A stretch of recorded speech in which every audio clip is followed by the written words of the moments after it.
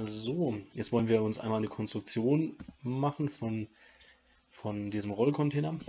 Wichtig zu wissen ist, dass ABF immer mit ähm, Gruppen arbeitet. Das heißt, mit Komponenten kann ABF nicht arbeiten, ähm, würde sich dann aber auch melden. Das heißt, wenn man jetzt Komponenten hinzufügt, wie jetzt diesen Schubkasten, ähm, würde ABF dann sagen, dass alle Komponenten zunächst umgewandelt werden müssen in ähm, Gruppen. Dafür gibt es dann aber auch nochmal eine Funktion, und zwar diese hier, wenn die Bauteile ausgewählt sind oder die Komponenten ausgewählt sind, kann man hier Daten umwandeln und aus einer Komponente eine Gruppe erstellen. Da sieht man jetzt Gruppe 1, das ist jetzt ähm, nur noch eine Gruppe und keine Komponente mehr. Und dann können wir weiterarbeiten, können Beschläge hinzufügen und auch nesten. Jetzt wollen wir aber diesen Rollcontainer einmal zeichnen und ähm, dafür habe ich einmal die Seite hier abkopiert. Ähm, ich habe mir noch ein anderes Plugin heruntergeladen und zwar Make Named Group. Da kann man dann über einen Shortcut auf der Tastatur ähm, direkt den Namen bearbeiten. Also hier zum Beispiel Seite links und direkt den Layer auch auswählen, auf dem es abgelegt werden soll. Und dann hat man hier die Bauteilgruppe. Mache ich das Ganze mal hier, 400 breit.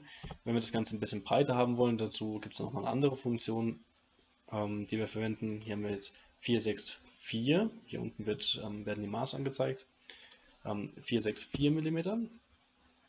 Und wir hatten jetzt hier, was haben wir hier, 381, ich schiebe das nochmal 19 auseinander, 400.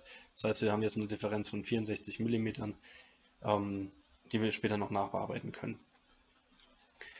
dann ist das ja natürlich nicht die Seite links, sondern die Seite rechts. Und in den Elementinformationen können wir Seite rechts die Bezeichnung von dem Bauteil nochmal ändern. Dann fügen wir zunächst den Boden hinzu. Auch wieder über den Shortcut, Boden, den Layer noch auswählen. Dann haben wir den Boden eingefügt. Jetzt fehlt noch die Rückwand. Über K können wir immer die Transparenz aktivieren und sehen dann auch die Ecke. So, haben das Rechteck hinzugefügt. 19 mm. Der Rollcontainer soll aus ähm, Multiplex gebaut werden, ähm, weiß beschichteten Multiplex mit sichtbaren Kanten in diesem Fall. Das ist jetzt die Rückwand und auf dem Layer Korpus damit ähm, die Kanten hier gerundet werden können mit dem 2 mm Radius, ähm, stauchen wir das Ganze hier noch um 2 mm und verschieben das Ganze noch nach vorne. Wir können das Ganze ja über die Pfeiltasten ähm, noch fixieren auf den Achsen, auch nochmal um 2 mm. Und dann können die Bauteile ähm, an den Längskanten gerundet werden und ähm, die Rückwand muss nicht zusätzlich gerundet werden, dass man dann keine ja, Arschbackenfuge hat, sondern eben eine scharfe Kante hat, die auf die Fläche aufläuft. Soweit, so gut. Ähm, noch vorne die Vorderkante. Ja, wir können natürlich auch immer unsere ähm, Komponenten verwenden, wenn man jetzt sagt, okay, wir haben ähm, eine Blende, die wir, die wir immer verwenden. Ähm, und das sind die Bezeichnungen dann eben auch schon, schon direkt ähm, ja, hinterlegt. Also hier ist Blende links die Definition.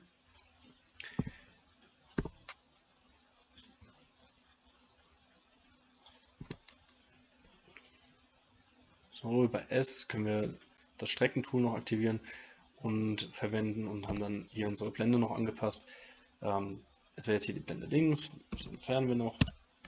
Das Ganze ist aber nach wie vor eine Komponente, also ich würde jetzt einfach empfehlen, aus der Komponente direkt eine Gruppe zu erstellen und ähm, ja, damit ABF damit weiterarbeiten kann.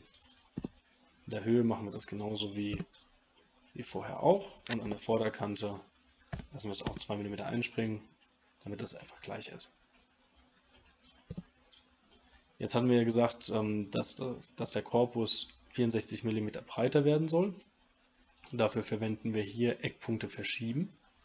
Können jetzt den rechten Teil auswählen oder eben den linken und hier werden jetzt die Eckpunkte angezeigt, die verschoben werden. Oder die man eben ausgewählt hat. Zusätzlich gibt es dann hier noch die Achsen, das heißt wir können über die Pfeiltasten auswählen, in welche Richtung verschoben werden soll, nach links oder nach rechts. In dem Fall wollen wir nach rechts breiter werden und geben einfach direkt das Maß ein.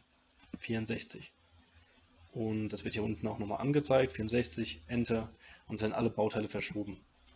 Das heißt, wir müssen nicht erst wieder extra reingehen in die einzelne Gruppe und dann die einzelnen, also die einzelnen Komponenten bearbeiten und 64 mm in die nächste Gruppe gehen, das Ganze verschieben um 64 mm und so weiter, sondern wir können alles in einem machen. Jetzt haben wir noch einen Boden, der dazwischen eingefügt wird. Wieder über K die Transparenz aktivieren. Ja, das geht in dem Fall nicht. Da müssen wir hier ran. 19 mm. Und bis an die Kante der Innenseite. Das hier ist der Boden. Korpus. Jetzt haben wir den Grundkorpus schon erstellt. Ähm, die Fronten können wir später auch nochmal hinzufügen. Ähm, ja, im nächsten Schritt wäre es angebracht, die, die Verbinder hinzuzufügen. Also die Rafix-Verbinder oder Cabineo, je nachdem, was man ähm, primär verwendet.